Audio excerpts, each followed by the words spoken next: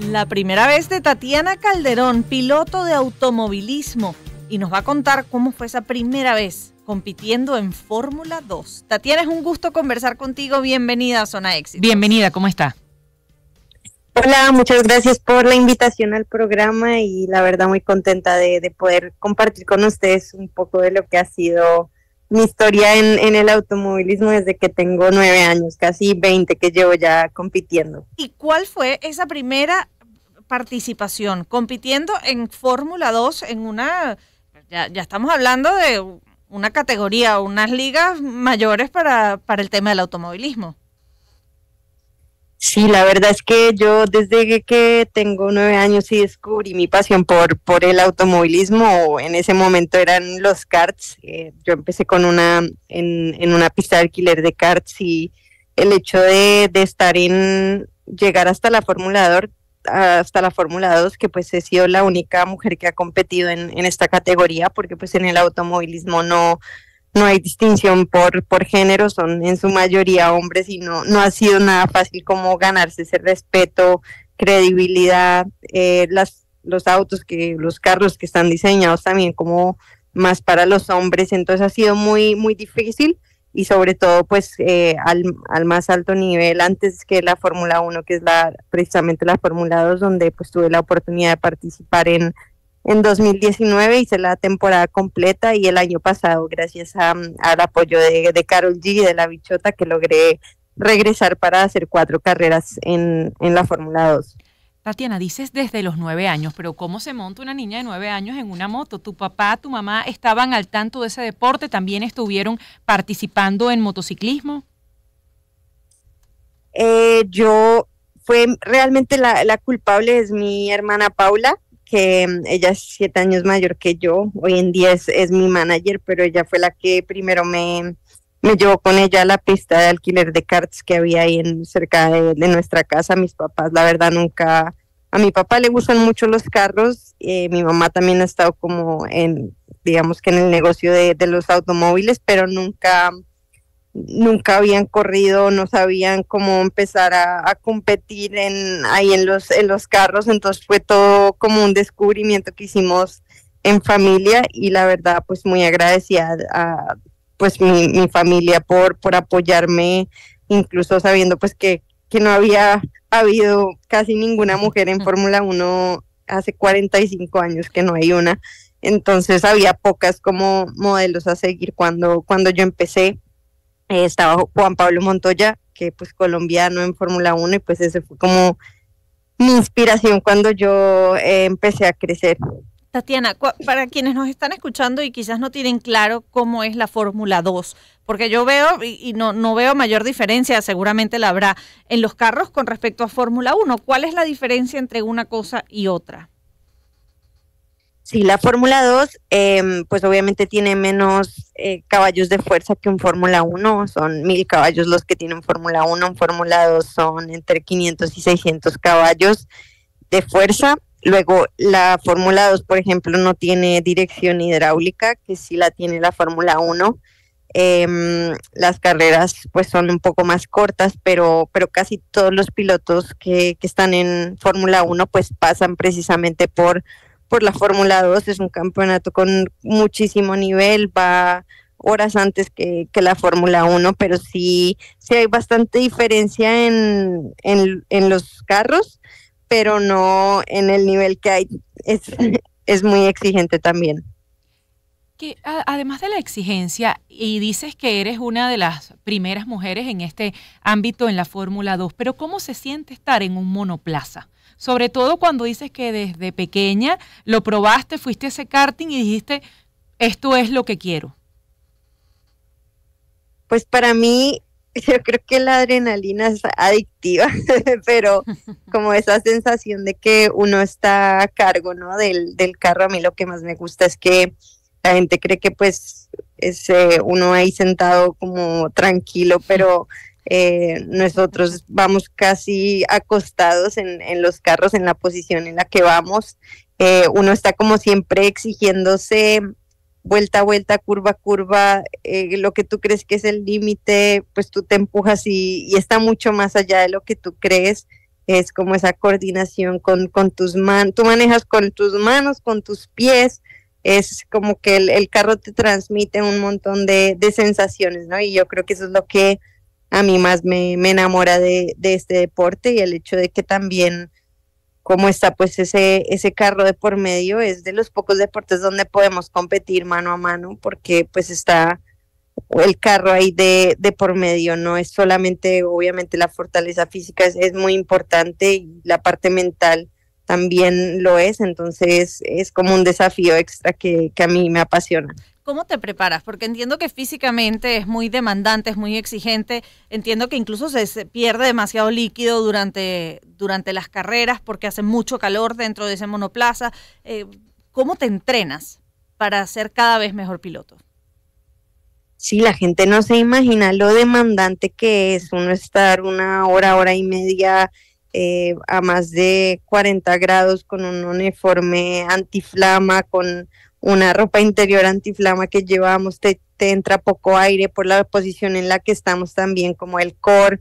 Eh, tiene que estar muy fuerte la parte de los hombros por el hecho de, no tener la, dirección hidráulica y por las fuerzas G, el cuello casi que tienes que aguantar como 40 eh, kilos con, con, el cuello para manejar un Fórmula 1, eh, porque pues a veces incluso la frenada, la desaceleración de 350 kilómetros por hora a 80 que tienes que tomar la curva en 25 metros es, es impresionante la parte explosiva de frenamos con el pie izquierdo entonces es tienes que estar muy bien en todos los aspectos físicamente y pues como mujer tenemos 30% menos de masa muscular que un hombre tenemos un, un, periodo que eso hace que también tengamos que entrenar de forma diferente. Entonces, eh, ha sido muy exigente, dedico mucho tiempo a la preparación física por eso y también pues la parte mental de coordinación, de, de reacción es para nosotros muy importante y la, la concentración que como tú bien dices ahí con, con la deshidratación viene eh, la pérdida de concentración. Entonces, ese, mm, tienes que ser un, deportista muy completo para, para estar ahí arriba de un carro de carreras a más de 300 kilómetros por hora. Tatiana Calderón es nuestra invitada hoy en esta primera vez, es piloto de automovilismo de Fórmula 2. Dijiste dos velocidades, 80 para la curva y 350 por como velocidad, eh, eh, no, no sé si máxima. ¿Cuál ha sido tu máximo? ¿Y has tenido algún accidente tratando de superarte, Tatiana Calderón?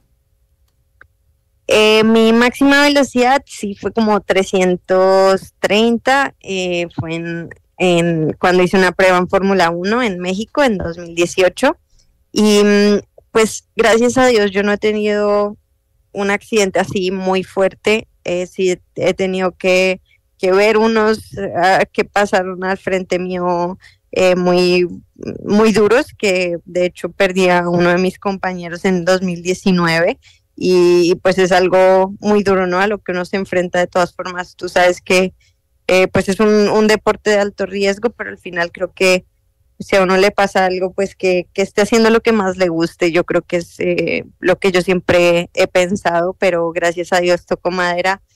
No he tenido así un accidente muy grande, los, los toques que, que nunca faltan, em, pero nada muy grave.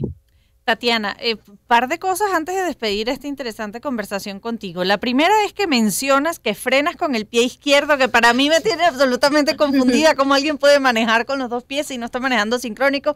E incluso manejando sincrónico, uno utiliza el pie derecho para frenar y el izquierdo exclusivamente para poder hacer los cambios de velocidades. Pero por otra parte, eh, entiendo que el automovilismo, sobre todo cuando estamos hablando de Fórmula 1 o Fórmula 2, es un deporte sumamente costoso y elitesco.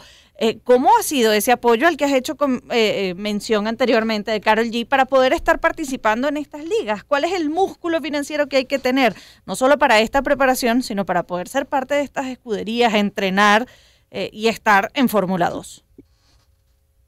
Sí, lo, la primera, los, los cambios como son eh, una caja secuencial, em, nosotros tenemos el, el, clutch en la mano, solo la usamos para, para salir del garaje y para la arrancada pues de, eh, de la carrera.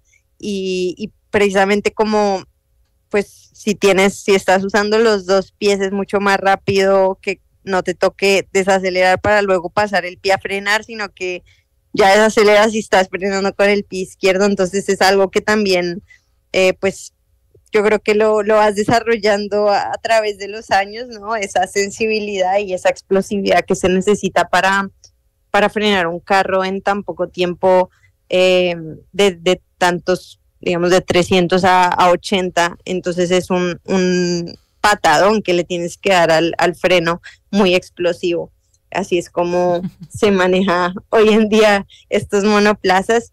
Y la segunda, sí, la verdad es un desafortunadamente un deporte donde se necesita mucho apoyo económico de, de las empresas, conseguir los patrocinadores. Al final, si tú estás en un mejor equipo, pues vas a poder em, brillar mucho más. Si no estás en un, un carro competitivo, en un equipo de los que ah, normalmente en los campeonatos hay como dos o tres equipos que pueden ganar carreras, el resto, por más de que el piloto sea excepcional, pues va a ser muy difícil que gane. Lo hemos visto en la Fórmula 1 bastantes años, el que mejor carro tiene gana.